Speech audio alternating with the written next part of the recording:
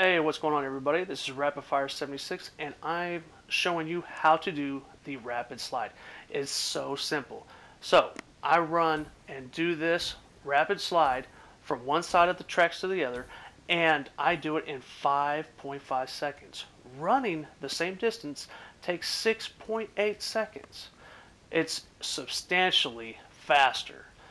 And since the G slide has been banned, you can't do it anymore the rapid slide is just as fast as the G slide. You are going to love this. It is going to totally change your gameplay. I use Bumper Jumper Tactical and my buttons flip for my controller.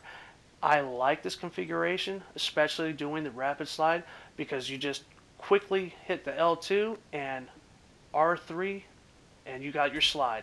Do it back and forth and it's made. It's money yes, you could use the regular default class and you know hit X to jump and circle to slide, but with the bumper jumper tactical, it makes it so much easier. Plus, you can also jump up in the air and aim down your sights and take out that enemy so much faster than the regular configuration.